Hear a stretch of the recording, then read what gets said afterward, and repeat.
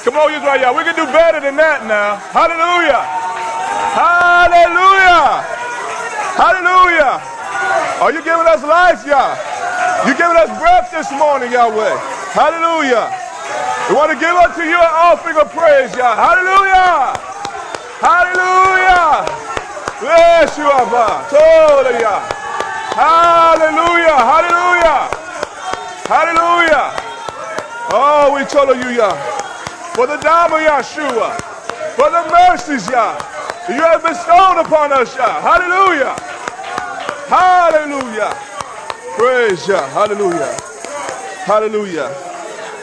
Look to your neighbor and say, Kedusha, are you ready to hear the word of Almighty Yah? Hallelujah. Hallelujah. You may be seated, Israel. Todah Yahweh, for truly his mercies and his ahava, it endures through all generations. Hallelujah. I know that I needed Israel. Where would I be without the mercies of Almighty Yahweh? Where would I be without His Word or His Torah or His Mitzvah? Where would I be if I was not chosen by His hand? Come on, Israel, to be chosen by His hand. And just to think that He touched each and every one of us this morning. Hallelujah. Or He got you up. It wasn't by your own strength. If it was up to most of us, we wouldn't even got up this morning. Hallelujah.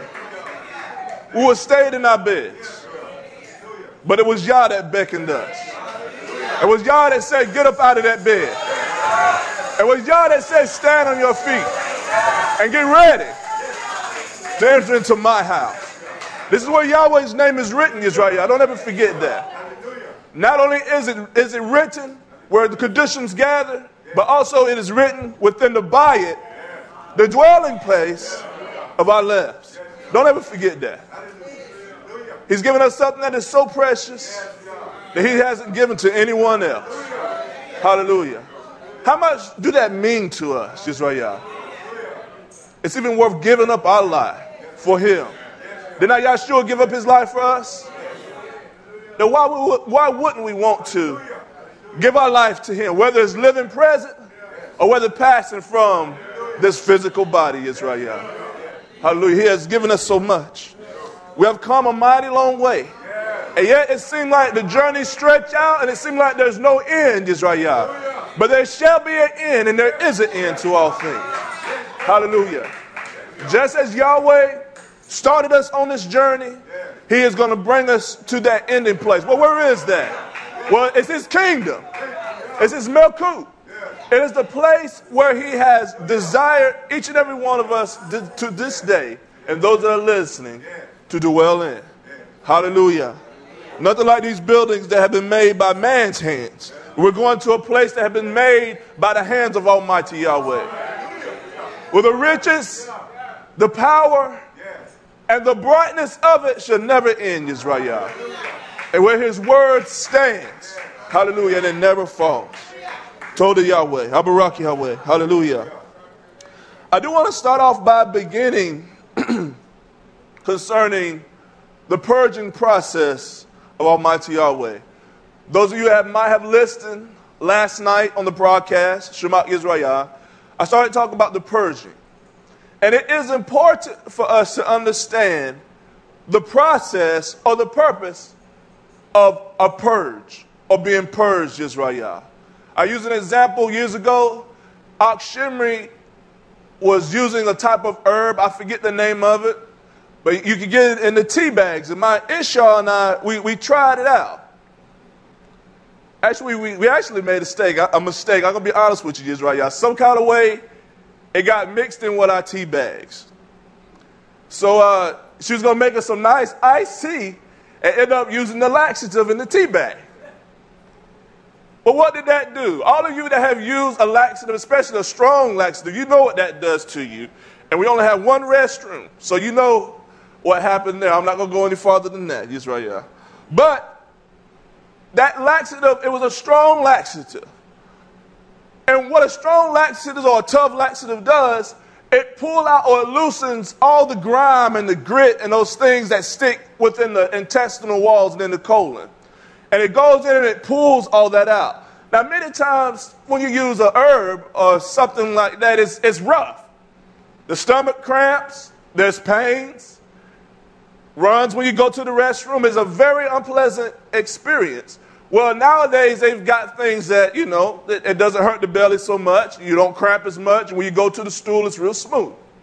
But we must understand this purging process of Almighty Yahweh. As we hear, as we shema, as we take in His Torah, many times it's bitter, somewhat going down, but yet it yields forth the abundance of fruit that Yahweh desires in our bodies. And truly, Israel, we need a purging today. When you allow the word of Almighty Yahweh and His Ruah to move within our deep places, within our bowels, Israel, that those things that set there, and there are things that set within the body for years. There's certain meats that steak, sometimes if your tract is not operating optimally, it's rest there for months and for weeks. And you think it's passed into the waste and it's still there just rotting in, in the intestines. And one thing about the intestinal walls, if you have a clean system or clean intestine, it will show for on your outer body. Your skin, your smell, your breath, it truly does. Y'all. That's how, that's how it works. If your inward man is corrupt, it's going to show forth on your outward man. Whether it's by how you look, how you perspire, or how you smell. So is it also in the Ruah. If you're full of unclean things in, in your body, Israel, the unclean things are going to pursue, are going to come forth out of your body. Can we get pure water and water that is stagnant out of the same well? No. You only can get pure water out of a pure well. And if the well is stagnant, no matter how much water is mixed in, when it come out, is it it's impure, is it not? And it has a smell that is distasteful. It's hard to drink what they call what they call that hard water or the water that's got that egg-like smell. Sometimes that's hard to drink. I know it is for me, Israel, unless it's chilled with ice to somewhat hold back the smell of the taste. It is hard to take that in. But Yahweh, He desires His house to be a house that is clean, a house that is purged, a house without sin, without spot or blemish or any such thing, Israel. That's what He desires of us tonight, this day. Hallelujah, this morning. And we know that recently I've been talking about the fire, but yet this still concerns the cleansing and the purging by the mouth, by the ruah, the esh of Almighty Yahweh. So let us begin, Israel. In Second Chronicles, some of this is an excerpt of what I talked about last night, and I want to continue on and just see how the ruah leads us on this beautiful day. Isn't that beautiful, Israel? Hallelujah. Second Chronicles chapter 33, verse 1. I want to begin there.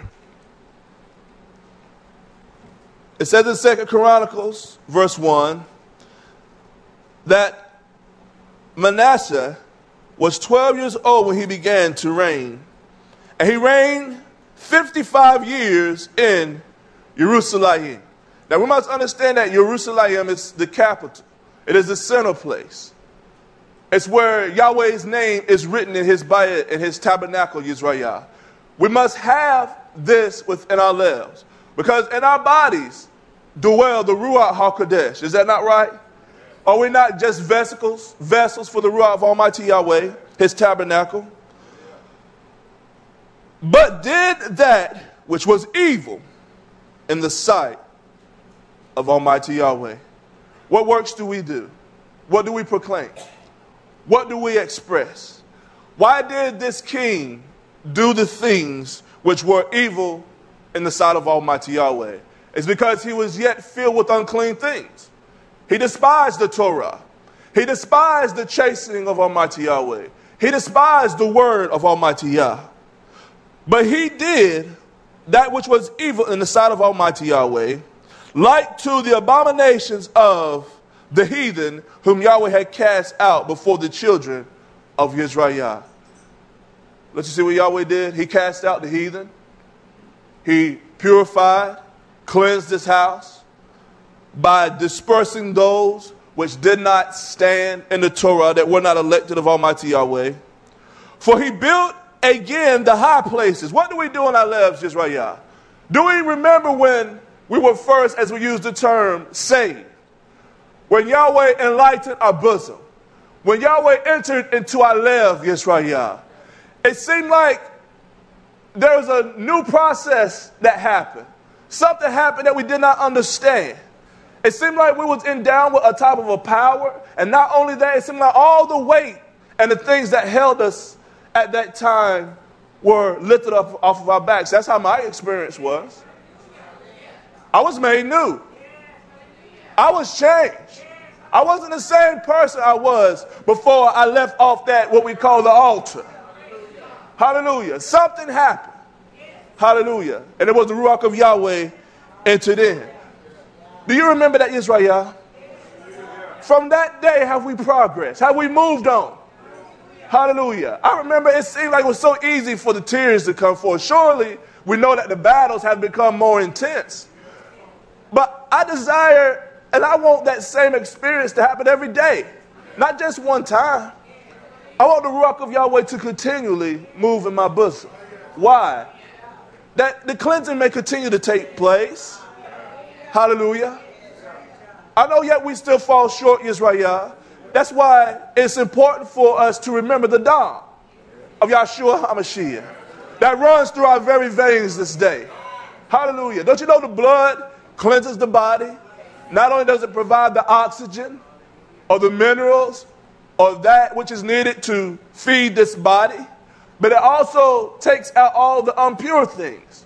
It's collected in the kidneys and the intestines. It takes the blood to do that. It takes the same blood of Yahshua HaMashiach to do that today.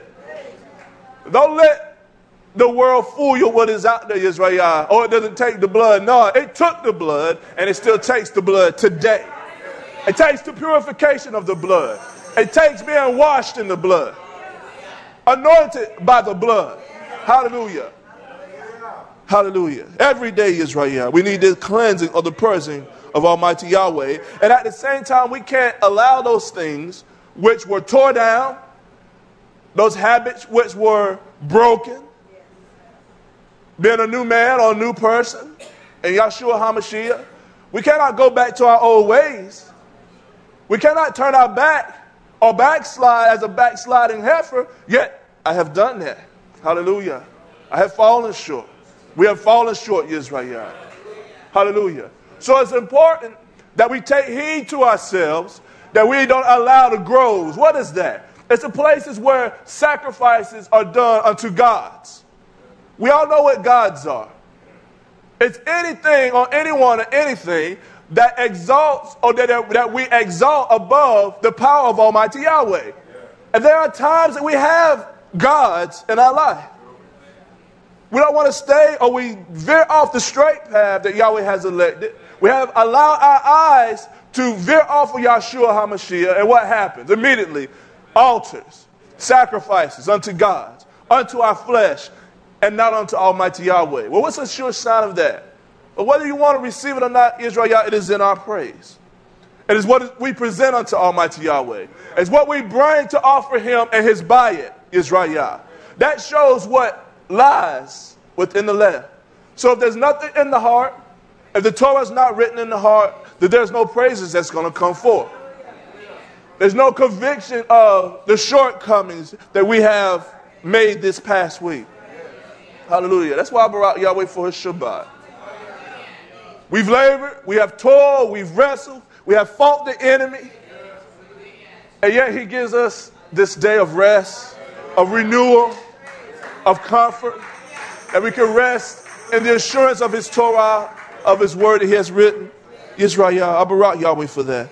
Even the Shabbat is a type of cleansing. Don't you know that the body, not only does it purify itself when you labor, whether it's by sweat, whether it's by eating the right vegetables or the right choices of food, exercise. Also, the body cleanses itself in rest. And rest is very key and it's very important. Yahweh knew what he was doing. Is he a man that he needs to rest his body? But yet he rested on the seventh day. And he knew in his foreknowledge that we need a day of rest.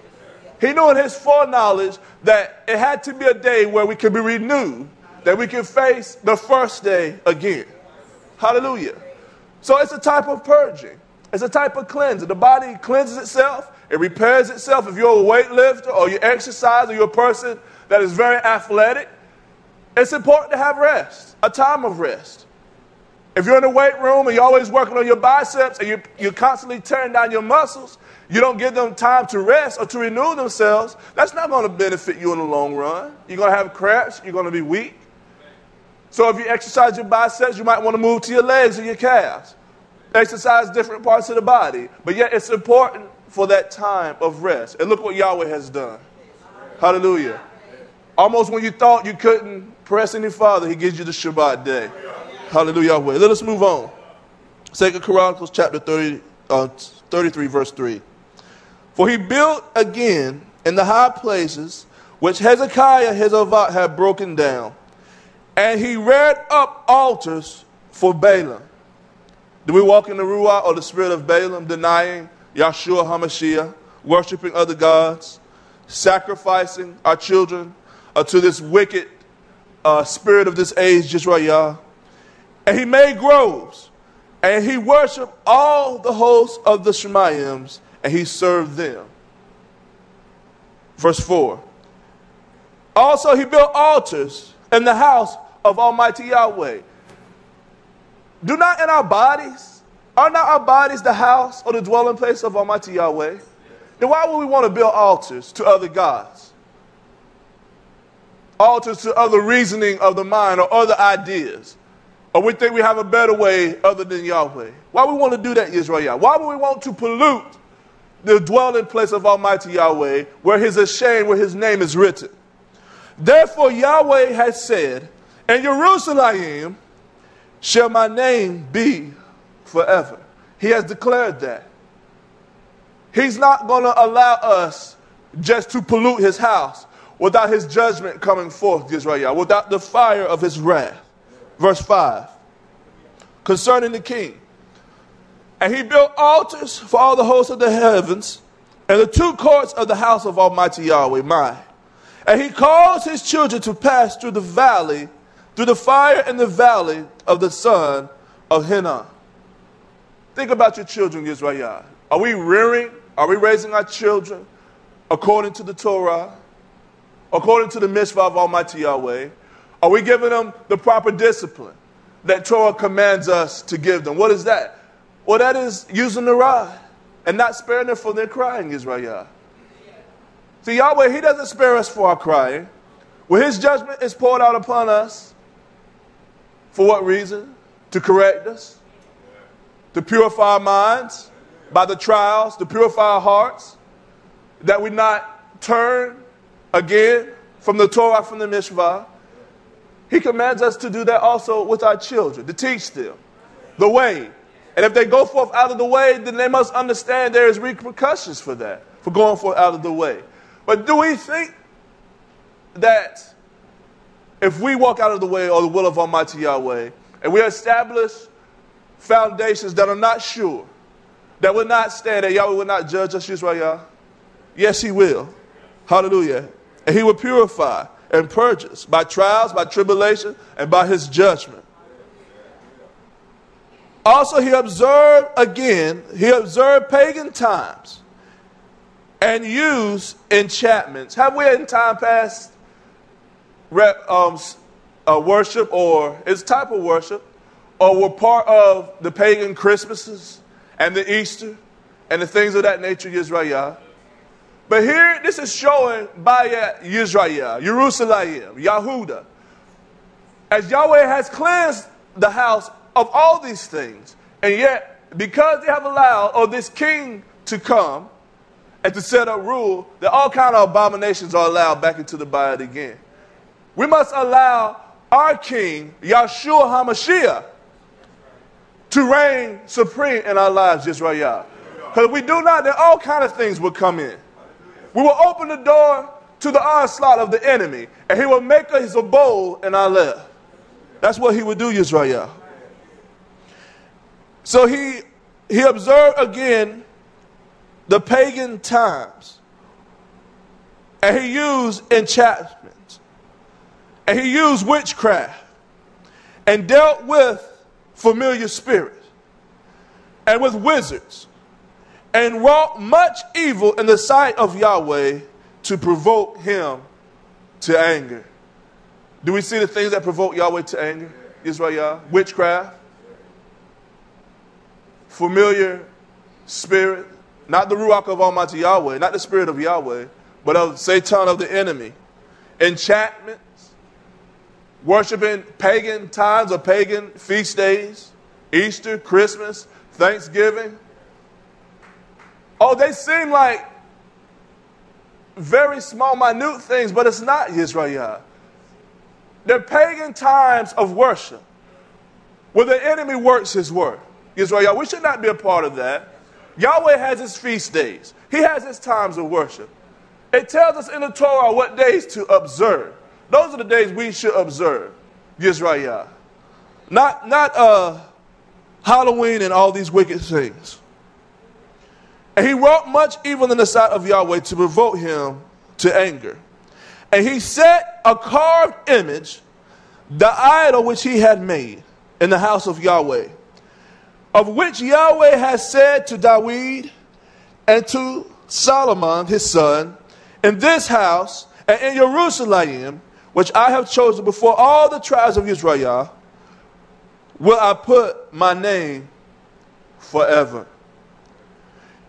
Neither will I any more remove the foot of Yeruz, of Israel from out of the land which I have appointed for your fathers, so that they will take heed to do all that I have commanded them according to the whole Torah. Did it say a little of the Torah or did it say the whole Torah? So, should we walk in the whole Torah? The totality of everything. Every word of the Torah, it is pure, Israel. It says, according to the whole Torah and the statutes and the ordinances by the hand of Moshe. So Moshe made Yehuda and the inhabitants of Jerusalem, I mean Manasseh, made Yehuda and the habitations of Jerusalem to error by the idols, by placing these gods in the high places of Almighty Yahweh, in his tabernacles. What do we allow in our minds, Israel?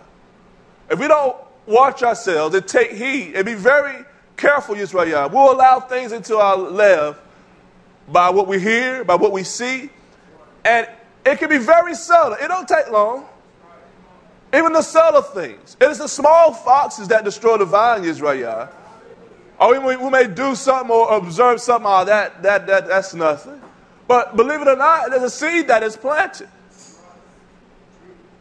And just like a mustard seed, which is very small, or okra seed, or kale, those seeds are very small seeds.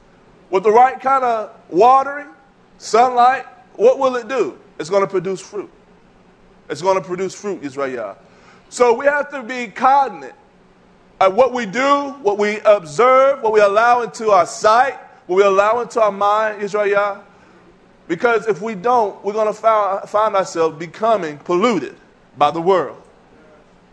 We're going to allow things into the Bayit, just as this king allowed things into the Bayit, into the Kodesh places of Almighty Yahweh, that shall pollute the temple. That's why it's important for us to continually, Israel, continually have the Ruah, or have his Torah in our minds and in our hearts, Israel. If it's nothing but just a scripture, if you just read a scripture a day, or just allow that scripture to fester in your bosom, Israel, that's all you, all you need.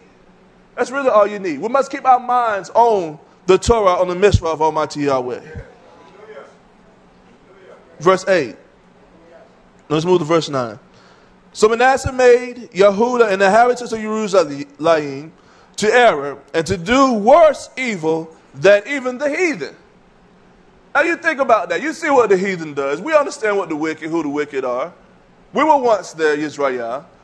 You telling me that the combined sins of the wicked those that are Rasha and do not walk after the mitzvah of the Torah of Almighty Yahweh, that we would do even worse than them? Why? because we know the right way. We've been washed in the dam of Yahshua HaMashiach. Should we trample his dam under our feet? Yisrael? Come on. It said that they did worse evil than the heathen, whom Yahweh had destroyed from before the children of Israel. And Yahweh spoke, uh, Yahweh spoke to Manasseh and to his people, but they would not hearken. Is Yahweh speaking to us tonight? I mean, this morning, Israel? This day on his Shabbat? Should we receive what he is saying or should we reject it as Manasseh done? Hallelujah. Wherefore Yahweh brought upon them the captains of the host of the king of Assyria, which took Manasseh among the thorns, and bound him with brass fetters, and carried him to Babylon. And when he was afflicted, he besought Yahweh his sovereign ruler, and humbled himself greatly before Yahweh, the Abba, the Abba of his Avas and prayed to him. And he was entreated of him and heard his supplications. Do we entreat Almighty Yahweh when we fall short, Israel?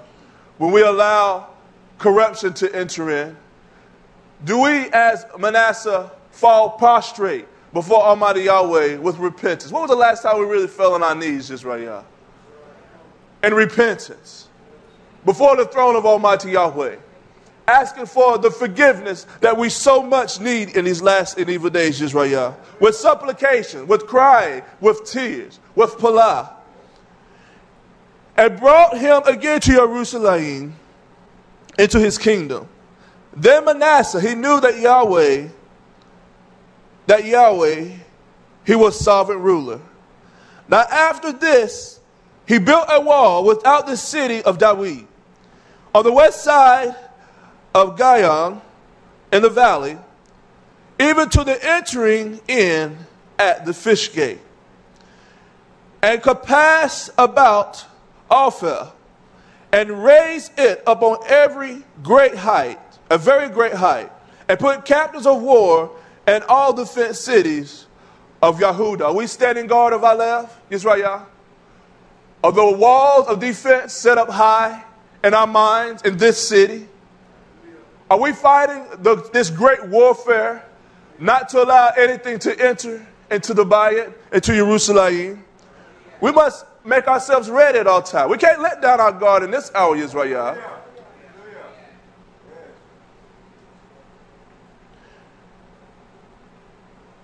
Verse 14. And after this, he built a well without the city of Dawi, outside of the city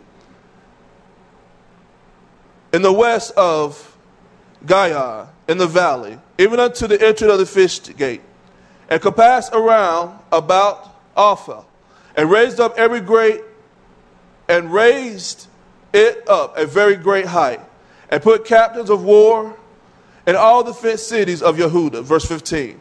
And he took away all the strange gods. But you see what he did, Israel? Once he repented, and he fell before the throne of Almighty Yahweh with supplication. What did he do? He began to purge. He began to get rid of those things that were uh, an offense unto Almighty Yahweh. He took away the strange gods and the idols out of the house of Yahweh, and all the altars that he had built in the mount of the house of Yahweh, and in Jerusalem, and cast them out of the city. And he repaired the altar of Almighty Yahweh. So not only did he have to remove all those things that he had placed in the bayit, he had to repair the altar. Do we understand that we need to repair the altar, Israel? We need to repair the place that Yahweh desires us to offer to him an offering of praise and of Todah and of thanksgiving unto him, Israel. We must repair those places. And it says, and he sacrificed thereon shalom offerings and thank offerings unto Almighty Yahweh. Did we do that when we came into the Bayit Israel? Did not we offer shalom offerings, praise offerings unto Almighty Yahweh? And commanded Yahudah to serve Yahweh, the sovereign ruler of Israel. Listen, Verse 17. Nevertheless, the people did sacrifice still in the high places. Get to Yahweh, the sovereign ruler only. Now, the rest of the acts of Manasseh and his prayer unto Almighty Yahweh, that must have been some kind of prayer. That must have been some kind of Palah Israel. We need prayer this, in this hour. We need a true Palah unto Almighty Yahweh. What would that do? Just as it did unto Manasseh, it would change our whole perception of things. It will rear us in the right direction. Even though we many a times we go astray, yet the Palah or a true prayer unto Almighty Yahweh will bring us right back into the place where we should be at, that we can move forward, Israel. What happened to our prayer life? There should be a, a life of prayer in our, in our bosom, Israel. I would like to know what that prayer was, what he prayed unto Almighty Yahweh. Hallelujah. Out of the sincereness of his lips, broken and contrite. Hallelujah. Verse 19. His prayer also, and it was entreated of him, and all of his sins. Did it say all of his sins? Verse 19, chapter 33, Second Chronicles. And call all of his sins. I want all my sins to be removed ones I know of, and the ones maybe I don't have clarity on. I want this prayer that Manasseh prayed, I want to pray that same prayer. That the purging process of Yahweh may take place. It says all of his sins. Not only that, but his trespass, where he crossed the path of Almighty Yahweh, where he veered off. His trespasses and the places wherein he built high places, and set up groves and graven images, unclean things. Before he was humbled, we need to be humbled, Israel. How are we going to be humble? Yahweh, he has a way of humbling his people. Hallelujah. Before he was humbled, behold, they are written among all the sayings of the seers verse 20. So Manasseh, he slept with his fathers. What that means, he died. He passed and was buried with his fathers. And they buried him in his own house and among the sons, and, and I'm sorry, in his own house. And Amon, his son, reigned in his stead. Amon was two and twenty years old when he began to reign, and reigned two years in Jerusalem. But he did that which was evil in the sight of Almighty Yahweh. Do you see the pattern, Israel? Depending on what king or what leader was over the house, that's the direction that Yehuda or Jerusalem went in. So, what do we allow? Who do we allow to lead us, to guide us? Who is our king? Is it our flesh? Is it our bellies? Or is it the King Yahshua HaMashiach? Is it Almighty Yahweh? That's who it should be. Or is it lies and deceit? Is it our iniquitous practices? Whatever we allow in the head or in the high place, Israel, that's what's going to lead us. And we allow the enemy into the walls. Did not Manasseh build walls to protect Jerusalem and Yehuda? And we allow anything to come into the walls, Israel. Iniquity, sin. That's what will lead us. That will what will guide us, Israel. Verse 22 again. But he did that which was evil in the sight of Almighty Yahweh, as did Manasseh his father. For Amon he began to sacrifice to all the carved images which Manasseh his father had made, and he served them. And humbled not himself before Almighty Yahweh. Do we find the spirit? That we don't humble ourselves in the presence of Almighty Yahweh. We don't lift up his name.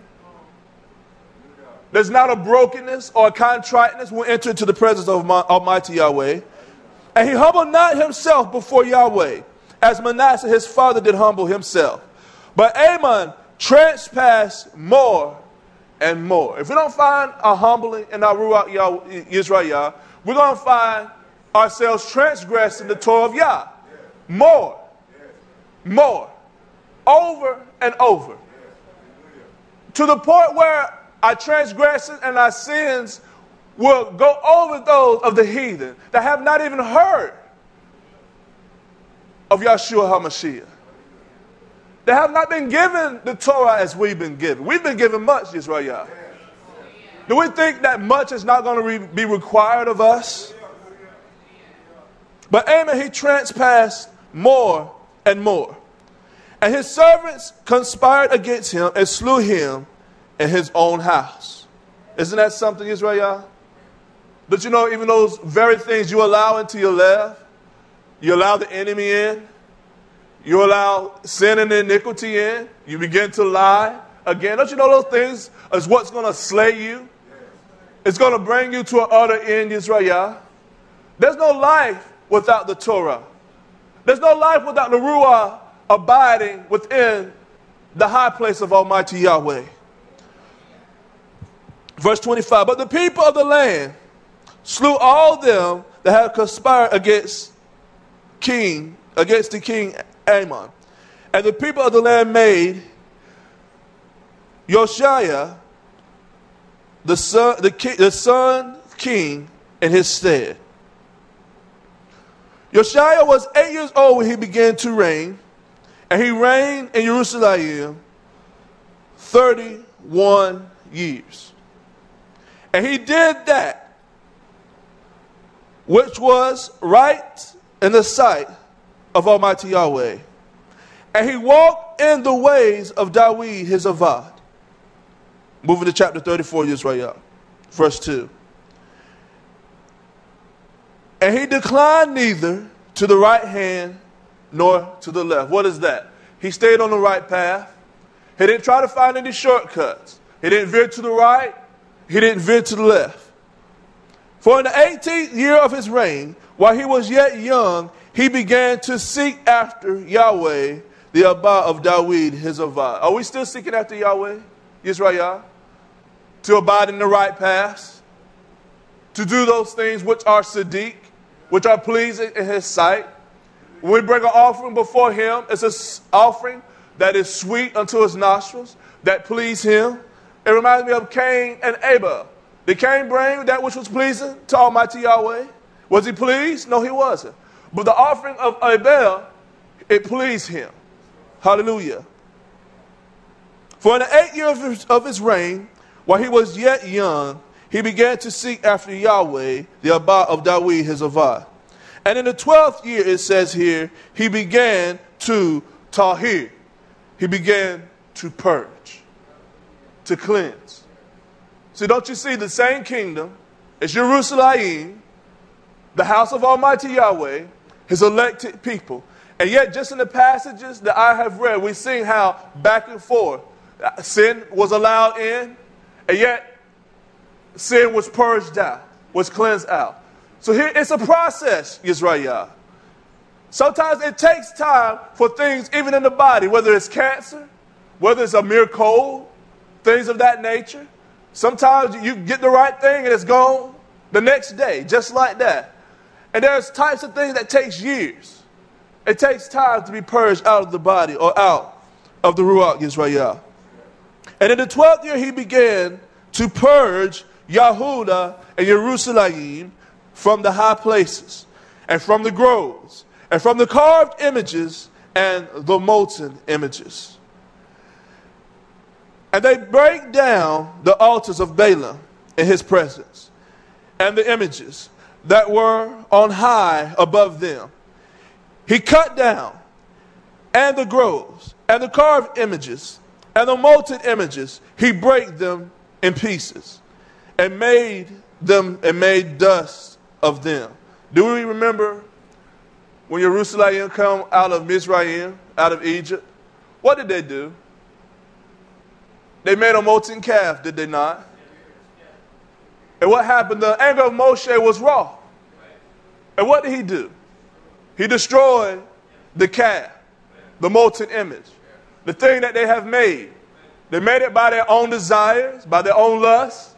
They used the gold that they was bound by out of Mizraim and made this golden calf. And what did Moshe do? He destroyed it. He ground it down to powder. And what did he do? He also caused them to drink of that iniquity. That was a type of judgment, Israel. Let us move on. So he made them dust. He made dust of them, and he strode it upon the graves of them that had sacrificed unto them.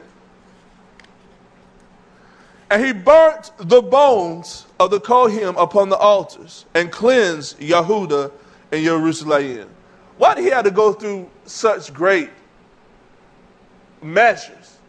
He even burnt the bones of the Kohanim of those that were um, that set up the rituals or the worshiping at those altars. That seemed like he just went a little too far. Seemingly, does it not, Israel? But he did not. We must allow the Torah of Yahweh to burn any remnants, anything that stands as a structure base. Is, it not, is that not what the bones are for? Is to uphold the flesh of the body? Because if you didn't have any bones, you would just pile up to a heap, a heap of flesh. You wouldn't be able to do anything. So it was important that he burnt also the bones would represent the structural aspects of those altars or those high things that was lifted up in the high places of Almighty Yahweh in the Bayat Yisrael. So he had to destroy everything. We must understand that in our lives, Yisrael, everything, everything that is not of Yahweh, everything that displeases Yah. Don't we understand what displeases Yah? Sin. The transgression of the Torah. Does that not please Yah? So those things that cause us to sin, or that try to entice us to sin, Israel, we must cast those things down. We must destroy them. We must grind them to powder. We must allow the Torah, the Esh, the fire of Almighty Yahweh to burn those things, that there is no remembrance of them, Israel. It is very key and very important, Israel, that we do this. And he burned the bones of the Kohanim upon the altars and cleansed Yehuda in Jerusalem. And so did he in the cities of Manasseh, of Ephraim, of Simeon, and to Naphtali, which their mattocks round about. Verse 7. And when he had broken down the altars and the groves, and had beaten the graven images into powder, and cut down all the idols, all the idols, throughout all the land of Israel, he returned unto Jerusalem. So it started in Jerusalem. It started in the central location, in the capital. He started there, cleansing all things. It must start here, Israel. And the central place of all things, which is that? It's the mind. It's the heart. Not this thing here that beats, but the mind. And if we start there, purifying, just as the king did, beating the idols, the images, the thoughts, the concepts, those things that do not lead us in the path of Sadiq or righteousness, then we will find out throughout the body, we will begin to see a change. Hallelujah. When we were renewed or when we was brought into this knowledge, that day that Yahweh said, You come this far, you're not going to go any farther. The sin's going to stop here. You are my elect. I'm letting you know this day that you are mine. Wasn't it not a process of things that had to drop off or things that we had to stop doing, habits? It first started in the mind, the conviction. Conviction in the left. Oh man, I can't do that anymore. Should we miss those things? We, I don't miss those things. We shouldn't miss those things that we have been delivered from. What have we gained from those things? Nothing habits. You had to feed a habit. You had to keep doing those things to sustain a habit. And, and then, if you really thought about it, even then, while you were doing it wasn't even pleasing. But yet, Yahweh has placed us in a way that is pleasing. Hallelujah. It's not hard on us. We grow. Hallelujah. We have His high, we have His life. We didn't have life on the other side to this point. So Yeshua, Yahweh says right here that you're gonna this is the point where you change. You have sinned, you have come this far, no, no farther. I want you're going to stop right here. And what did he do? He allowed those things to be purged out. We stopped the old habits. It started from the mind or from the lev, and then it worked its way outwardly. We began to change our dress, our walk changed, our perception changed. But it had to start in the high place, just as it started here in the high place of Jerusalem. And he cut down all the idol, idols throughout Israel, and he returned to Jerusalem. Verse 8. Now, in the 18th year of his reign, when he had Tahir, or when he purged the land and the house, he sent Shaphan, the son of Azaliah, and Maaseiah, the governor of the city, and Joah, the son of Josiah, Jehaziah, the recorder. And what did they do? They had to repair the house of Almighty Yahweh. So even though there are things that are being destroyed or broken down in our lives that has to be purged out, yet at the same time, Yahweh builds. So if he takes, if we take out one of these pillars, does it not weaken the building? Did we not hear Ray Dawid last night on the broadcast and he was talking about understanding the structure of a building? If you start breaking this little corner over here, just break a little bit at a time, what's going to happen? The building is going to fall. So what did Yahweh do?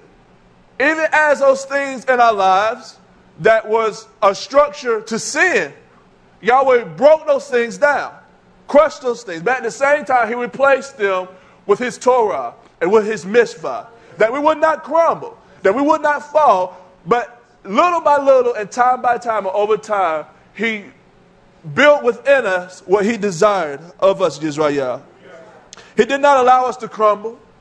He did not allow his Torah just to rip us apart, but little by little, as he took out those things that displeased him, he placed his Torah. He allowed those to expound upon the word that we may gain understanding, that it would be a strength to our life, Israel. Yahweh knows what he's doing, Israel. Let us commit our lives unto him. To repair the house of Yahweh, his sovereign ruler, in verse 9.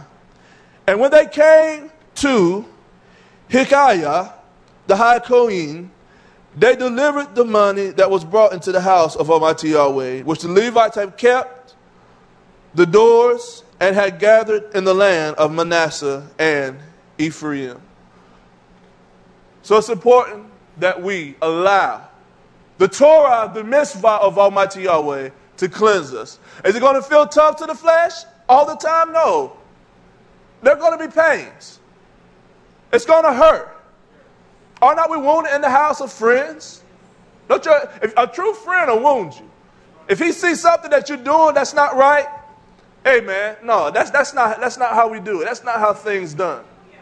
You can't do that. You need to stop that. If you don't stop that, then we're, we're no longer friends. I'm not your buddy. It makes you check yourself. Why? Because you don't want to lose a true friend. You don't want to, you know you're doing wrong. Even though your friend broke down your little, your little, you know, game there, yet it strengthened you. It caused you to have even more assurance in your friend, but also for you to do the thing that is right to do. Hallelujah. Yahweh want us to do the things that are sadiq, the things that are right, Israel. He don't want us to walk in the path that leads us to death, but life and everlasting life in Yeshua HaMashiach. Hallelujah. Let us turn to Tehillim. To helium.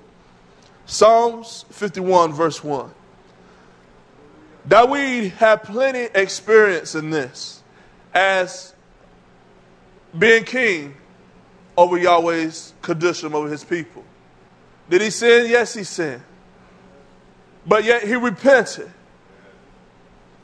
There has to be a place for or meet for repentance, Israel. Because Cain could not find this place or this meat or this substance that he needed that the gates of the Shemaions would be open that he may repent before Almighty Yahweh. Every man, it's not for every man to repent. We must understand that, Israel. Don't let the teaching of this world, oh, Yah, Yah, he wants everyone to be saved. That's not true. He's going to save his house. He's going to save his people. And there, there are those that he has saved or he has preserved for destruction. And that is the truth. So it's a lie for one to say, oh, Yahweh, he, he's going to desire, he wants, he desire everyone to, to be saved. That's not true. That's not in his plan. It wasn't his plan from the beginning of all things. And his foreknowledge, he knew what he was doing, Israel. But yet, look at us today that are sitting here. Those of you that are listening by via of live stream, we must keep hold. We must hold unto the Samuna that was given unto Jerusalem. Hallelujah. So David, he understood the purging process. Did not Yahweh allow the judgment to come upon his kingdom? He was moved from his throne, ran for his life. Hallelujah. The judgment of Almighty Yahweh stayed in his house. Verse 1, Tehillim 51, verse 1. He says, Have mercy upon me, O Yahweh. I want the mercies of Yahweh upon me this day. I need it. O Yahweh, according to your loving kindness, according to the multitude, a vast amount. A price can't be put on it, an amount can't be put on it. All I know is more. It's just what I need. According to the multitude of your tender mercies. Tender. Do we understand what tender is? Let's think about a steak. I've had them both ways. Ain't nothing like a tough steak. It's hard to chew. It's hard to enjoy. The fibers of the meat get stuck in your teeth. And it doesn't digest very, it doesn't sit very well. But Yahweh has allowed his mercies to be tender. A tender steak. You can cut it with a fork. You really don't need a knife. It melts in your mouth. Hallelujah. The tender mercies of Almighty Yahweh. Come on, Israel. He given us his tender mercies. He says, blot out my transgressions. I want you to blot out my transgressions. What is that? To wipe out, to stamp out, to remove any remnants of it, that it not be seen. I need my transgressions to be blotted out today, Israel.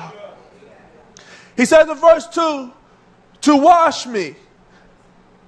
But I want you to wash me thoroughly from my iniquity. Did not we see in the kingdoms of Yahudah or Jerusalem how the kingdom was purged? That even any remnants or any bones, anything, was burnt up and consumed Israel. I want Yahweh to wash me thoroughly, that my iniquities, that any remnants of anything in my life will be purged out.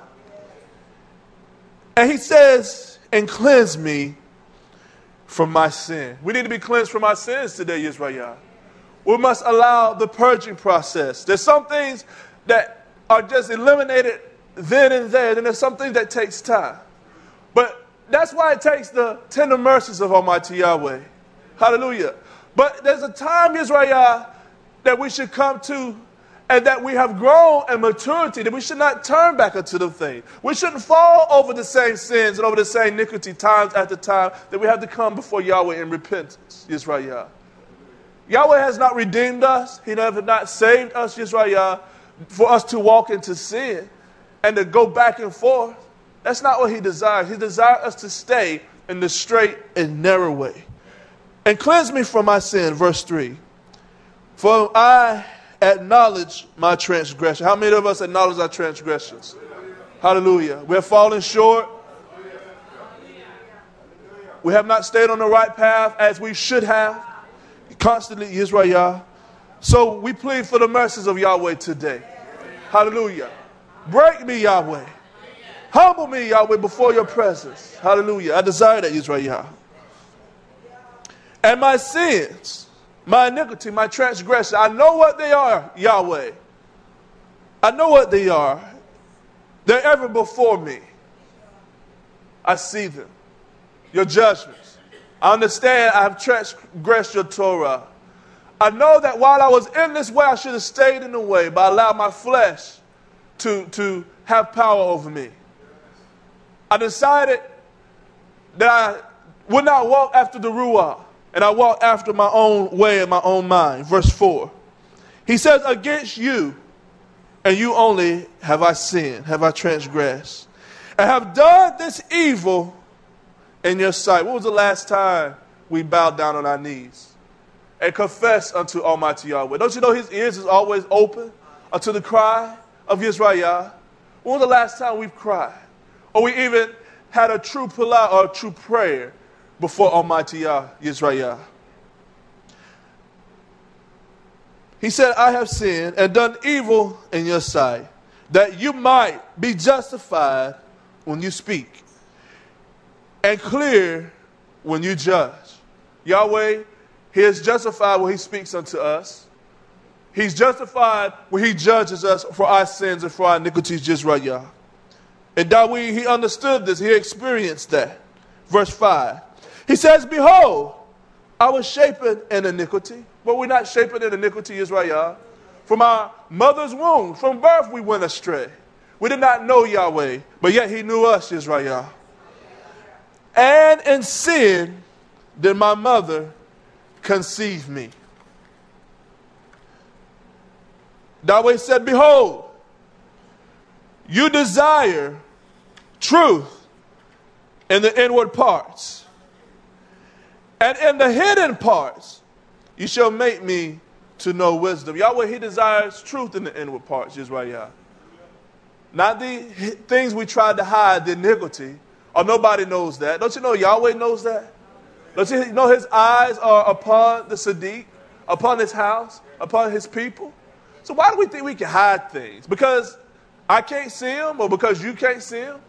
Because your Ishah, your wife, doesn't see Him, or your husband doesn't see Him? It's not hidden from Almighty Yah Yisrael. That's why it's so important that we allow the Torah to purge us. Hallelujah. Just as a tough laxative would purge the body, it hurts. We're wounded sometimes. There are pains, but in the end, Yisrael, the fruits will yield for. There will be a comfort in the end of those things, Yisrael. So Yahweh, He desires truth in the inward part, it says in verse 6. And in the hidden parts, you shall make me to know wisdom. What is wisdom? It is an experience with Almighty Yahweh. He should make us to know that. We should hide it within the inward parts, Yisrael. Verse 7. He says, Purge me with hyssop. What is hyssop? It's a type of herb that is used. Just as Akshimri. You remember that Akshimri? That's what it is, senna. That's what hyssop is. It's that sanity. That's what it was. That's some you still you still take that? That's some rough stuff. Uh, hallelujah. Senna or this hyssop. That's what Yahweh wanted. He knew that it was going to be a tough process and it would hurt. And there would be pains, but yet he knew that it took the hyssop. It took that herb. So he cried unto Yahweh, Purge me with hyssop, and I shall be clean. That hyssop or that sin, that cleans you out. It pulls it all out of you as Zacchaeus, as would say. It pulls it all out. Don't leave nothing in there. And I shall be clean. Wash me, and I shall be whiter than snow. Not any washing or any chemical that we can use upon ourselves can get us as clean as Yahweh or as the Dama Yeshua can get us clean, Israel. So we don't have to try other detergents. The church world is full of different kind of detergents. They want you to try this, try that, do this, this concept, this doctrine. That's not what cleanses us. It's by the Dhamma Yeshua that cleanses. It's not by the silver and gold that, that redeems us, but it's by the Dam. It's by the blood of Yeshua HaMashiach that redeems us. Hallelujah. We cannot buy our nefesh Israel. Don't you know we have been paid for with a price? And the price was that Dam. It was the offering of Yeshua HaMashiach upon the state. So I want Yahweh to cleanse me.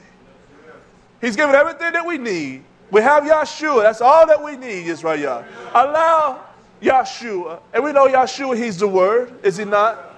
We know he's the Torah.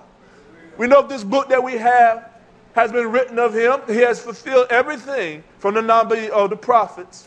He has fulfilled it all. So we know he is the Torah. So allow the Torah to cleanse you, to purge you from all things. Purge me with his, Dawid says, and I shall be clean. Wash me, and I shall be whiter than snow. Make me to hear joy and gladness. Do we hear joy and gladness? Hallelujah. That my bones, which you have broken, may rejoice. Did we talk about the bones? Hallelujah. Broken bones and my I have fallen prostrate before you. There's nothing, I'm humble. There's nothing that stands up before your word, Almighty Yah. You have broken, that my broken bones may rejoice. That in this state that I'm in, in this lower state, that I may rejoice. Should we not give Todah unto Yahweh in all things? Whether we are high up in the mountain or low in the valley, we should give Todah unto Yahweh. Verse 9. He said, Hide your face from my sins and blot out all my iniquities. Verse 10. Create in me a clean lamp. Do we not sing the song, Israel? O Yahweh, and renew, restore, rejuvenate, strengthen the right Ruah within me. Can't you see David on his knees? The judgments of Almighty Yahweh. Yahweh brought him low, just like he did Manasseh. Brought him low, humbled him. His Torah humbled him. And he cries out, Cast me not away from your presence. I don't want to be cast from the presence of Almighty Yahweh. Where else is there to go? Did not the disciples say that to Yeshua HaMashiach? Yeshua asked, Will you also leave me? The masses have left Yeshua HaMashiach. Would you elect ones leave me also? And they said, Where, where will we go? He said, You only have the bread of life. So cast me not away from your presence, Almighty Yahweh, and take not your Kodesh, Ruach, from me. Where would we be without the Ruach of Yahweh?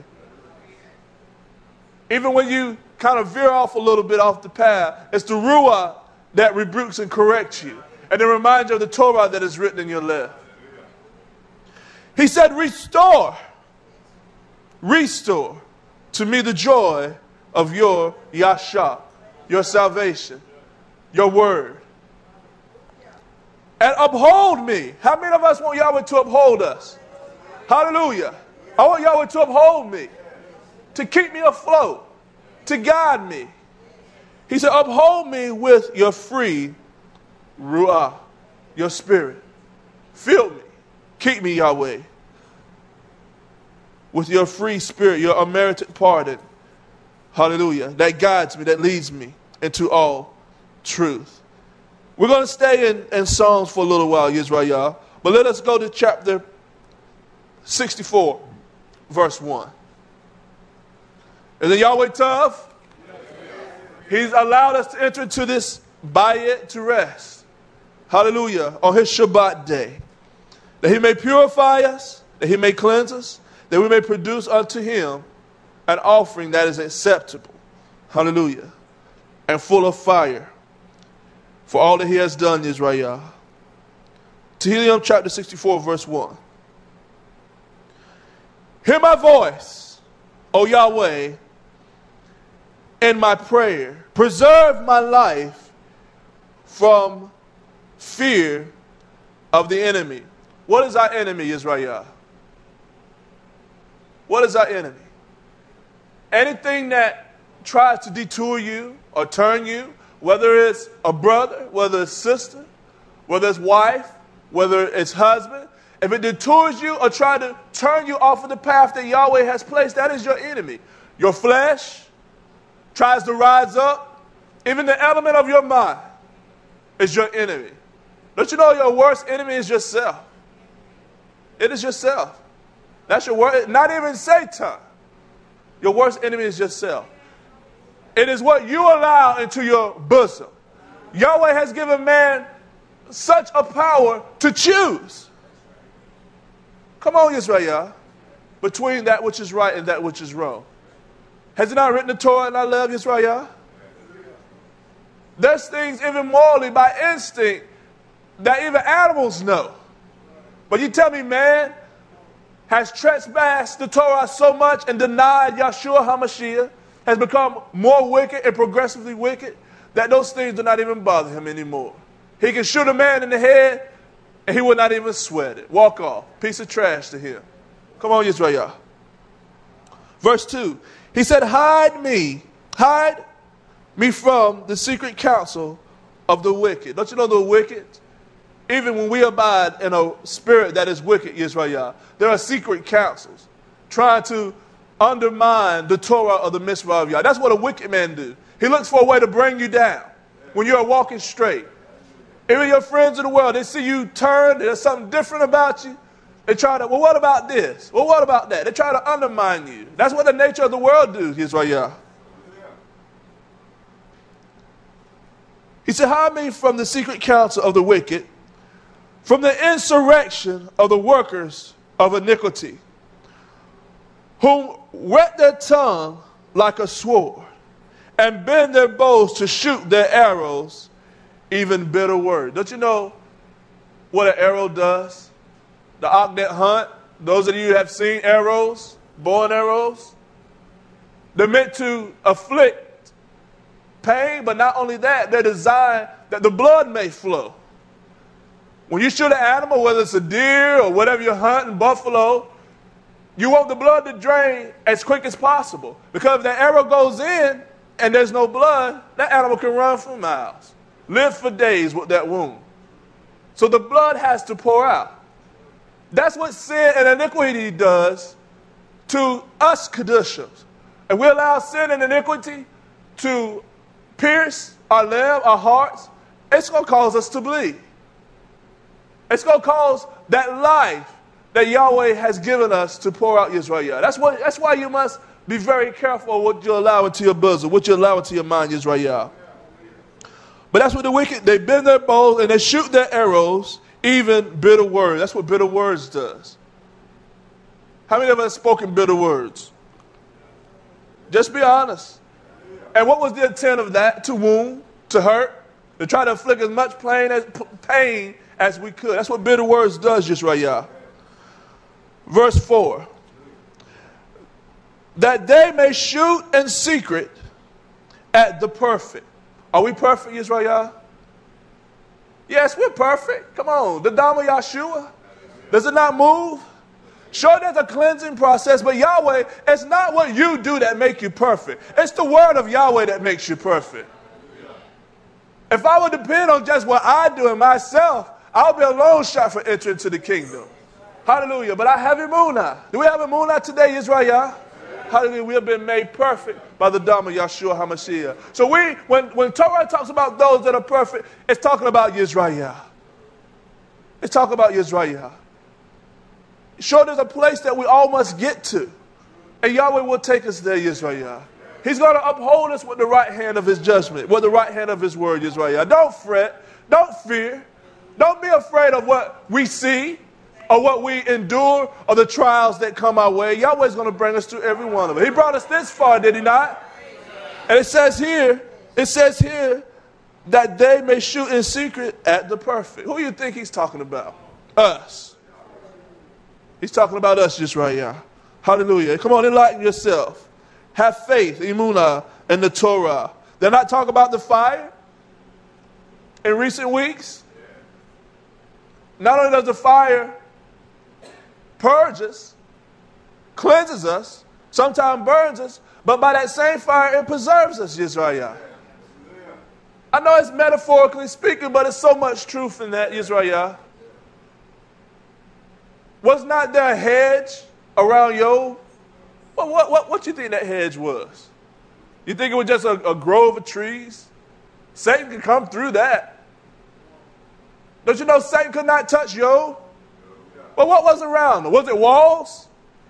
Was it like Manasseh? Did he have walls around him? Satan, he don't he, he can come through a wall. He's a ruah, he's a spirit. Come on. What was that? It was the fire. Satan could not stand the fire of the Torah of Almighty Yahweh.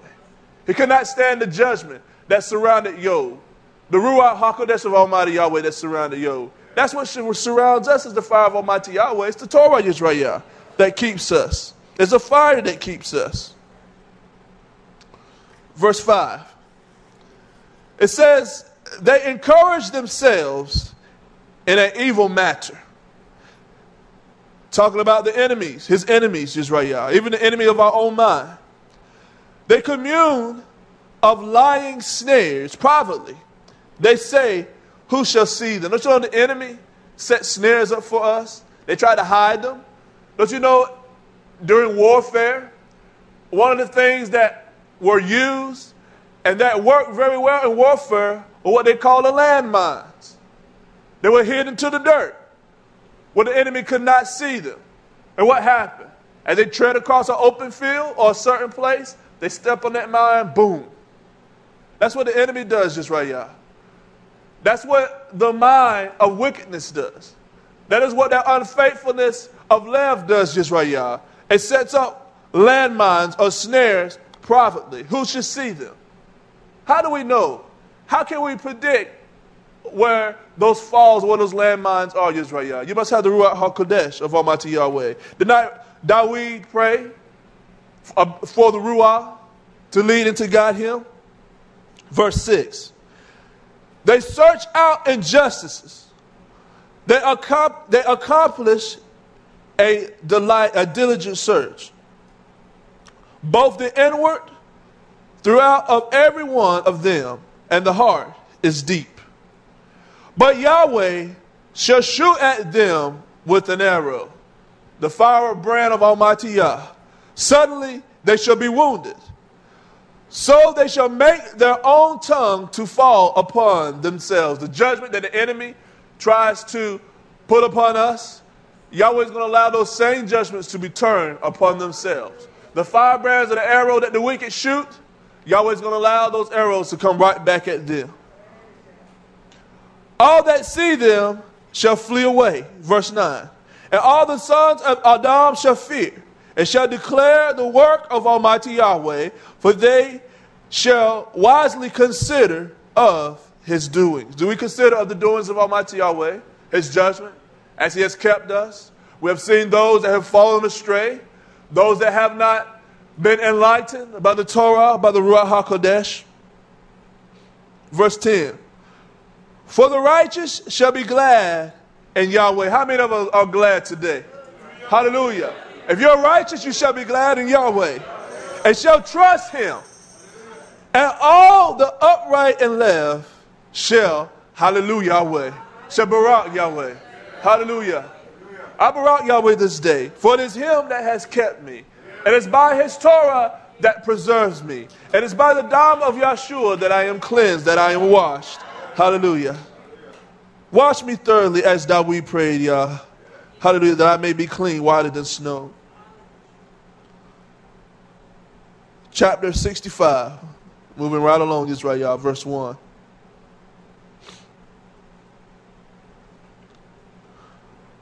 Praise waits for you, O Yahweh, in Zion. And you, and you shall the vow be performed, or the promise. O you that hear prayer, to you shall all flesh come. Iniquities prevail against me, for our transgressions you shall purge them away. Yahweh's going to purge those things away, Israel. No matter what comes our way, Yahweh's going to remove that. Well, I don't have the power or the strength right now to overcome this. Yahweh's going to move that. That mountain, Yahweh's going to move it. That river, we, we think we cannot cross. How are we going to get to the other side of this? Yahweh shall make a way. And he has made a way. Hallelujah. All we have to do is believe Israel. Just believe on him that Yahweh have sent. And even out of your very heart, out of your very belly shall flow rivers of living water. Did not Yahweh, through Moshe, allow the rivers to part that Israel shall pass unto safely? Through the Red Sea, Israel? Yahweh should make a way. He is the way. When there is no way, Israel, He is the way. So let us turn unto Him. Hallelujah. Let us pray unto Yahweh, for He is our help. Here is our hope. Verse 4 Blessed, Barak is the man whom you choose and calls to approach to you, that he may dwell in your courts. Are we not in the courts today? We shall be satisfied with the tov, with the goodness of your house. even of your Kodesh great tabernacle. The great tabernacle of Almighty Yahweh. That's where we should abide, Israel. The high place of Yah and his tabernacle, Jerusalem, which is the capital, which is the high place. Again, in Psalms, turn with me to chapter 79, verse 4. Tehillim 79, verse 4. We should talk about the purging. Hallelujah. Just as Yah and the Torah continuously in so many parts talk about gold, becoming pure gold. I talked about it many a times as we traverse through the sevenfold voices of Almighty Yahweh. Right now, we're somewhat abiding in the fire of Yah, gold and silver. We know when you put heat to gold, if it's got impurities in it, it takes an intense heat to bring out the impurities or the dross. The same thing with silver, Yisrael. So we want Yahweh to put us to the test, put the heat to us. Hallelujah that those things which are not of him will surface or come to the top. We want to be clean above all things before Almighty Yahweh. He's not going to accept any offering. He's not going to accept a body that is full of unclean things, Israel. We must have the pure white garment of his Ruah. Tehillim 79, verse 4. We are become a reproach unto our neighbors, a scorn and derision to them that are round about us. How long, O Yahweh, will you be angry continually? Did you know Yahweh, He is angry with the wicked every day? Should we walk after uh, the spirit of wickedness, Israel? How long, O Yahweh, will you be angry continually? Shall your jealousy burn like an esh, like a fire? Don't you know Yahweh, He gets jealous? We are His bride, are we not, Israel? But yet we, we, we, we're looking at other bridegrooms, desiring other bridegrooms or other ways, other paths, instead of desiring Yahshua HaMashiach, desiring Almighty Yahweh. Verse 6 Pour out your wrath upon the heathen that have not known you, and upon the kingdoms that have not called upon your name. For they have devoured Yaakov and laid waste his dwelling place. Oh, remember, oh, remember, not against us the former or our former iniquities. We don't want Yahweh to remember our former iniquities. Yes, right. We don't want when we stand before judgment or that day of judgment that all those things that we've done go before us or come behind us, yes, right. That, that would be a very sad day. Oh, remember not against us the former iniquities. And again, it says here, let your tender mercy speedily prevent us, for we are brought very low. Verse 9 Help us, O Yahweh, of our salvation. Is not Yahweh our salvation? Right, Yah. For the splendor of your name, and deliver us. And what does it say? And purge. Purge us cleanse us, wash us, and purge away our sins for your name's sake. That's a lot at stake there, isn't it? For Yahweh's name's sake. Let you know that Yahweh, that Yeshua went to the stake for Yahweh's name's sake. And not only that, for us, Israel. Verse 10 Wherefore should the heathen say, Where is Yahweh, their sovereign ruler? Where is he? Where has he gone? Look at this people. They're brought low. They don't have any wealth, a mere dust of the earth. Where is Yahweh, their sovereign ruler? Let him be known among the heathen in our sight by the vengeance of the blood of your servants, which he has shed.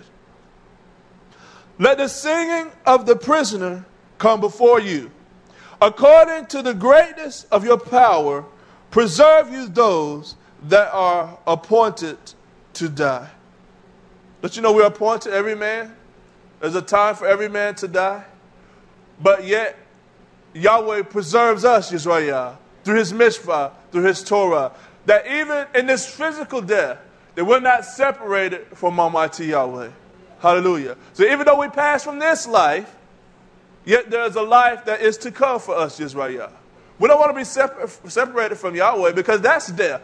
Even in this physical man, there are those that are walking dead men. Why? Because they don't have the Ruach of Yah.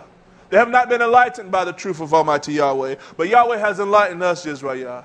So we should, lie, we should walk in his life. And not only that, but eternal, eternal life. Verse 12. And render to our neighbors sevenfold into their bosom their reproach, wherewith they have reproached to you, O sovereign Yahweh.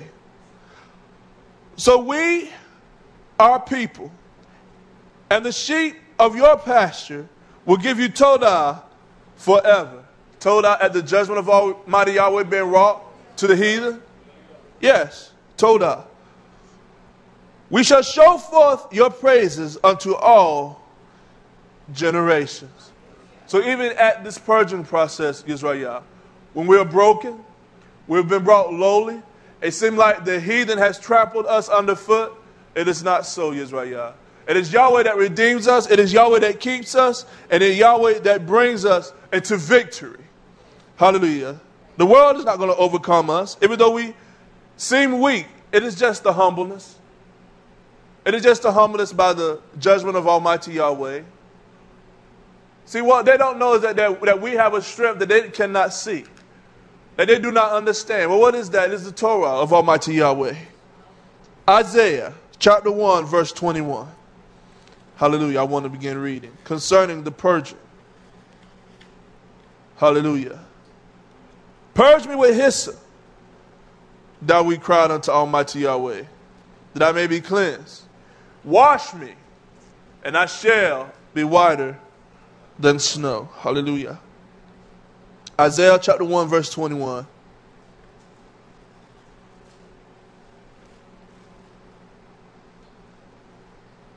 Talking about Jerusalem. Throughout Torah, we've seen time after time, example after example. Why is that? Why is that in Torah? That we may read, correlate, and understand what has taken place that we not fall in the same predicament. But yet we do, and we have fallen in the same predicament. But it is written for our understanding and for an example unto us, Israel. So this is what the Torah had to say about Israel. Oh, how the faithful city has become a harlot. That is a, a, a, a very grave downgrade. One that was faithful, walking in the Torah, the mitzvah of Almighty Yahweh, steadfast, has become a harlot, one that goes out of the boundary of marriage, that allows just anything to come in unto her. That's what has happened unto Israel. We have allowed any and everything to come, on, come into our bosom, into our mind. It says she was full of justice righteousness lodged within it. Talking about Jerusalem. But now, murderers. What do we allow? What have what is festering in our lives, Israel? Is it murdering? Killing? Have we become this harlot that has just allowed anything into the bosom? Unclean, filthy, stinks, willing to do any and everything? Is that what we have become, Israel? Hallelujah. I brought Yahweh for, uh, for the purging of his Torah. Even though he identifies us Israel, yet he always has a remedy. Even though it seems like we are in block by four walls and Yahweh's got us, yet he also has a way for us to come clean and to come out of it, Israel. Listen at this example, verse 22, chapter 1. Your silver is become dross. What is dross? Dross is the thing that is not usable. It can't be used for anything. It has to be just thrown away. It's useless. But it says here that the silver has become as dross, and your wine is mixed with water. When you want wine, and this is talking about more than just the fermented wine, but also the juices. When you, I had grape juice just the other day. And one thing about grape juice is somewhat strong, isn't it? But you don't want your grape juice or your juice, whether it's orange juice or any type of wine or juice you may enjoy, you don't want water added to that. Water, if you keep adding water to that, it loses its taste. It loses that sense of, of sweetness. I mean, when you drink a juice, you want that to kind of linger in your mouth a little bit as you go for the next sip, Yisrael. But it says that your wine, the perfection of the pure things, has been mixed with water.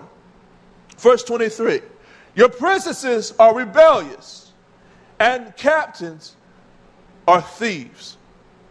Everyone loves gifts and bribes and follows after rewards. Is that what we have done, Israel?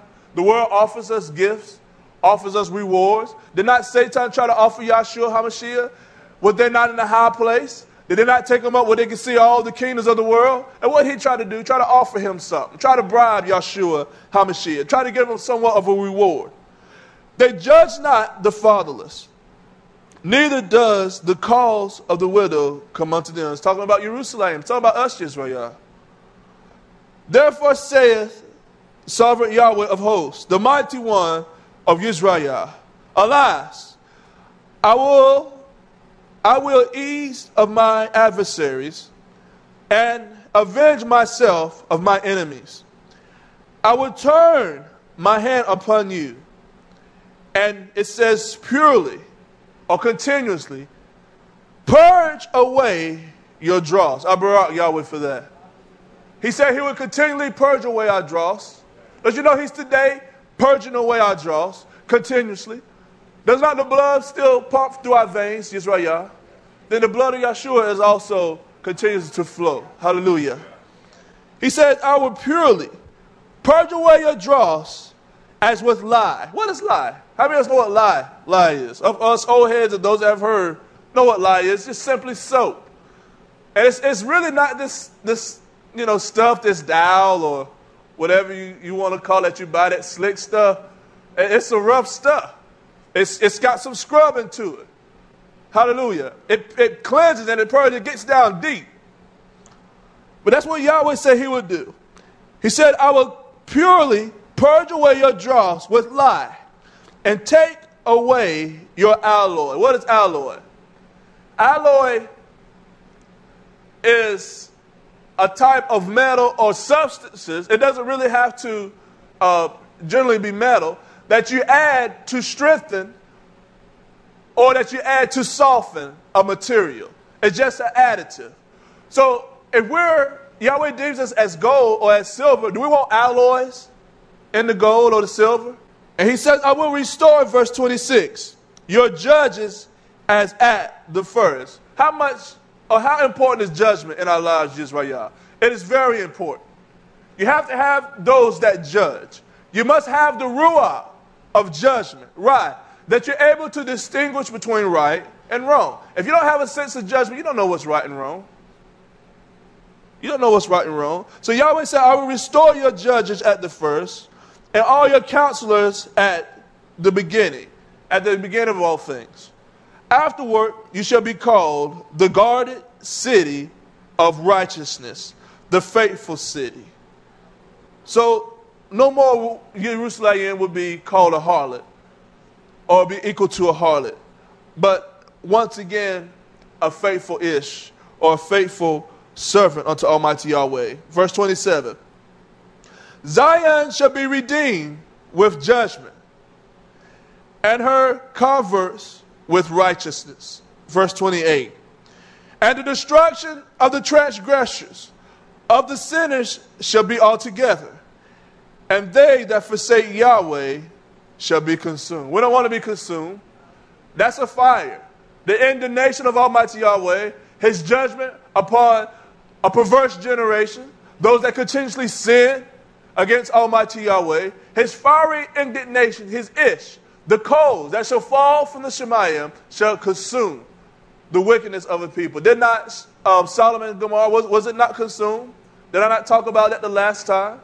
Sodom and Gomorrah, the call or the voice of Almighty Yahweh, his Ruach moved, and Sodom and Gomorrah was consumed. There was not anything left. Not a remembrance, there was not even dust that was left there, Yisrael, but everything was consumed. So shall Yahweh destroy all the transgressors and those that sin, the sinners altogether. And those that forsake Yahweh shall be consumed. I want to go to Baruch, just a few verses in um, Baruch. Second Baruch, chapter 85, verse 12. And some of you that don't have the that Torah, part of Torah, just listen. Hallelujah. It says, For behold, Yahweh the Most High will call all these things to come. What is that? His judgment, his indignation, his wrath poured out. It says, there will not be any opportunity to repent anymore. Did I not talk about repentance? Did not David repent? Did not Manasseh repent, Israel, before Almighty Yahweh? So this is saying here there's a time that is coming that Yahweh is going to cut off that time when we're able to repent or come before Him, Israel. It even talks about that in Revelation. Those that are clean at that time, the coming of Yahshua HaMashiach, let them be clean still. And those that are filthy, let them be filthy still. So is this not correlating with Torah? Hallelujah. It says there will be no opportunity to repent anymore, nor a limit to the times, nor a duration of the periods or change to the rest, nor an opportunity for prayer. No opportunity for prayer, nor sending up a petition nor giving knowledge, nor giving love, nor opportunity of, it says, repentance, nor supplications, nor offerings, nor prayers of the fathers, nor intercessions of the prophets, nor help of the righteous. Verse 13. There is a proclamation of judgment to the corruption regarding the way to the fire and to the path that leads to the growing, glowing coals. Therefore, there is one Torah by one. Don't we know that there's only one Torah, Israel? One word and an end for all, all those who exist. The last verse. Then will he make alive those he has found. Has he found us, Israel?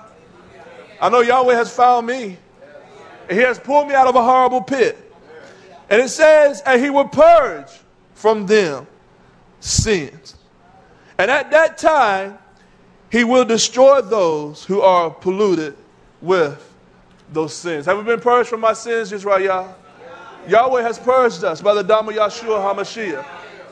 So if we that are purged from our sins, if the times are rough for us and we scarcely make it into the Malchut of Almighty Yahweh, what will happen to those, hallelujah, that have not been purged for their past sins, Israel? They should not have a chance of redemption. Did not I read there would be a time where there would be no more repentance or place or time for repentance anymore? There's a time that there'll be no more prayer, Israel. That time is approaching us. So what should we do? While Yahweh allows us this space right now, Israel, we should do all we could do to search our hearts, to do the things that are sadiq, that are right to our neighbor, to our op, and to our hope. We shouldn't lie to one another. We should not deceive one another, but we should walk according to all the statutes and the Torah of Almighty Yahweh. When? Right now. Right now. While Yahweh still, the tender mercies and his loving kindness are still in abundance, Israel. Because there is, there, there's an end to all things, Israel. Hallelujah. When Yahweh brings us all to a close. Hallelujah. So what should we do? We should be making ourselves ready now. Hallelujah. Allow the Torah to purge you. It's only by the dime of Yahshua, his word, that shall purify us, Israel. For what purpose? Why? Why? that we would be acceptable as an offering unto Almighty Yahweh. That when we open our mouths, when we come into the presence of Almighty Yahweh, into His bayit, that it will not be rejected, but that Yahweh will receive the praises that come forth out of our mouth. He has given us breath. So why should we not use that very same breath to speak his name, to uplift his name? Hallelujah. Even amongst the heathen, we should proclaim the precious name of Almighty Yahweh. Because he has given us so much, has he not, Israel? Even in, in this short space of time. This morning, he has given us so much. Hallelujah. He has scrubbed us some. He has scorched us with the fire. Hallelujah. Why? To keep us in the place. To prod us in the place, Israel. Yahweh shall have a people. Hallelujah. Even despite yourself, Yahweh is going to redeem us, Israel. Hallelujah. As I bring this nearly to a close, Israel, turn with me to 2 Timothy, 2 Timothy chapter 2, verse 1. Todah Yahweh. I'm going to read verse 1 through verse 21 concerning the purification or the purging of the house of Israel. He says in 2 Timothy chapter 2 verse 1, You therefore, my son, be strong in the free unmerited pardon that is in Yeshua HaMashiach. Do we believe that there is free unmerited pardon? Hallelujah. There's a place open for us, Yisrael, in the eyes of Yeshua HaMashiach. And the things that you have heard of me among many witnesses, the same, he says, commit you to faithful men who shall be able to teach others also.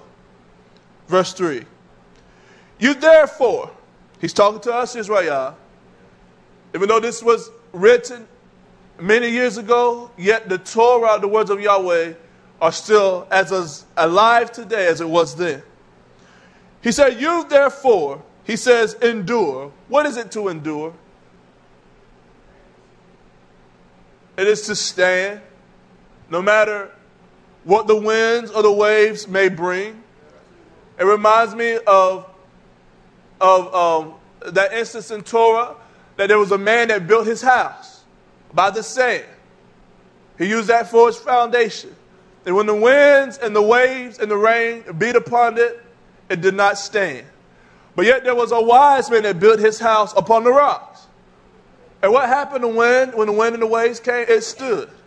So let us make sure that we are planted in the sure foundation, which is the Torah of Almighty Yahweh. That we may what? Endure. Hardness as a tough soldier of Yeshua HaMashiach. How many of us in that army today, Israel? A soldier. Hallelujah. Also being warriors. Gadol, great men. Verse 4. No man that wars entangles himself with the affairs of this life. So you, you can't war.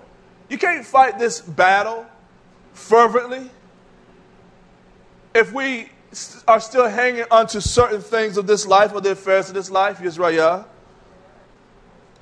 that he may please him who has chosen him to be a soldier. Don't you know Yahweh has chosen us, Yisrael, to fight?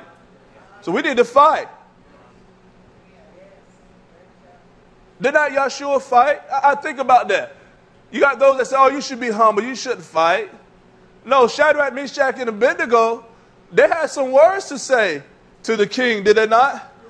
They said, Okay, we know that Yahweh has set you in this place, but in this matter, we're not going to hold back. Believe me, they didn't hold back. I mean, king, he, he was surprised.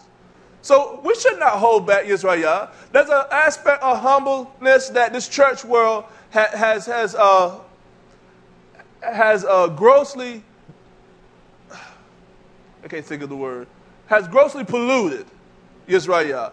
They think we should be humble, we shouldn't fight, or we should just give in to any and everything. That's not, that's not, Yahweh, Yahshua, was he not humble?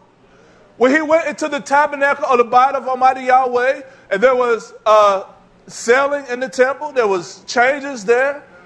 They was doing this in the place of Palah, the place of prayer. Was he humble?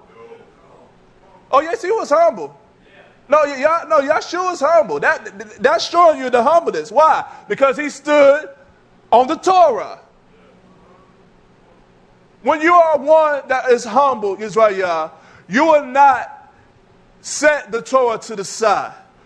You are humble under the mitzvah, under the leading, under the guidance of that which is written. So was Yeshua, was he humble? Yes, he was humble. See, humbleness is standing on the sure foundation of the Torah. So he went in there, he, he whipped the money changers. Did he not? He scourged them. Was he humble? Sure, he was humble. Why? Because he was the Torah and he abided in the Torah. Was it right what he did? Yes. So let us be humble. Soldiers, but yet humble, that we fight this fight unto the death, Yisrael. That we're humble under the leading of Yahshua HaMashiach. Is he not the leader? Is not he the general? So we humble ourselves under him and we fight. Come on, Israel. We don't let the enemy trample us underfoot. That's not what the meaning of humbleness is, Israel. It's standing and abiding in the Torah and the Mitzvah of Almighty Yahweh. Now, if you step out of that, then you're not humble. Hallelujah. Does that make sense? Don't that add a, a, a, a better meaning to the word humble, Israel? That we don't step out of the Torah of Almighty Yahweh. Hallelujah. Verse 4 again. No man that wars entangles himself with the affairs of this life, that he may please him who has chosen him to be a soldier. Verse 5. And if a man also strive for masteries or to uh, go forward in his ring, yet is he not crowned, except he strive lawfully. So we must strive lawfully. We must continue in this path obeying the mitzvah of the Torah of Yahweh. What will Yahweh do? He would bring us, as old condition would say, to higher heights and deeper depths in Yeshua HaMashiach. It says that the husbandman that labors must be first partaker of the fruit. Didn't that Yeshua labor, Yisrael? Was he not first partaker of the fruit? What was that? The fruit of suffering? That's a fruit of endurance? Did he not endure everything that we endure today, yet without sin, Yisrael? That's why we must allow the Ruah of Yahshua HaMashiach to endow us or to fill us. Consider, consider what I say, and Yahweh give you understanding in all things. Remember that Yahshua HaMashiach of the seed of David was raised from the dead according to my message wherein I suffer trouble as an evildoer, even to bonds. But the word of Yahweh is not bound. So even though Israel, it seems like that we're, we're bound or we're being held in captivity, the world surrounding us, they seem strong in number, do they not? Do they not, Israel? They seem like they can just trample us without even a thought. But it says here, but the word of Yahweh it is not bound. We're not bound, Israel. The world cannot overcome us. Therefore, he says in verse 10, I endure all things for the elect's sake, that they may also obtain the salvation which is in Yahshua HaMashiach with eternal honor. It is a faithful saying, for if we be dead with him, we shall live with him. Did not Yeshua, did not he die on the state Israel? But yet he was raised from the grave. That is our fate, Israel. If we believe that the way that we are in today is the way of Almighty Yahweh, we'll be willing to die for it. And if we die in the same ruach, the same way, in the same uh, way that Yeshua HaMashiach died, then we shall be raised up also in the latter days, Israel. In verse 12, verse 11, it is a faithful saying, for if we be dead with him, we shall also live with him. If we suffer, we shall also reign with him. If we deny him, he also will deny us. If we believe not, yet he abides faithful. He cannot deny himself. That's faithful, isn't that not Israel? Even if you deny him, he cannot deny himself. He must do that which he has spoken, and that which has been prophesied of, of Yahshua HaMashiach. And he did do that, even unto the state Israel. Verse 14. Of these things, put him in remembrance. Should we not put him in remembrance? What he's done? What he has done for us, Israel? Charging them before Yahweh that they strive not about words to no profit. So we should not strive for those things that profit not Israel. Lies, things that do not um, strengthen us in the walk of Yahshua HaMashiach, but to subverting of, but to the subverting of the hearers. Verse 15. He says, To study, to show yourself approved unto Yahweh, a workman that needs not to be ashamed, rightly dividing the word of truth. But shun profane and vain babblings. What is that? Worthless talk. Foolishness. That's what that is, just right, y'all. For they will increase to more wickedness. And the world, word will eat as does a canker. That's what babbling do, does. That's what vain speech does, Yisrael. Of whom of whom is Hymenaeus and Philetus, who concerning the truth have erred, saying that the resurrection is past already, and overthrew or overthrow the faith of some. Should we listen to those that said the resurrection has not happened? or those that lie concerning the message of Yahshua HaMashiach? No. Because if we don't have emunah and the resurrection, Israel, where is our hope in being raised from the dead again? Or seeing Yahshua HaMashiach face to face? Nevertheless, the foundation of Yahweh it stands assured, having this seal, that Yahweh knows them that are His. Hallelujah. So even when we didn't know Yahweh, Yahweh, He knew us, and He knows us even to this day, Israel. So stand, stand in the Muna, that Yahweh shall keep us. And let everyone that names the name of Yahweh, of Yahshua HaMashiach, depart from iniquity.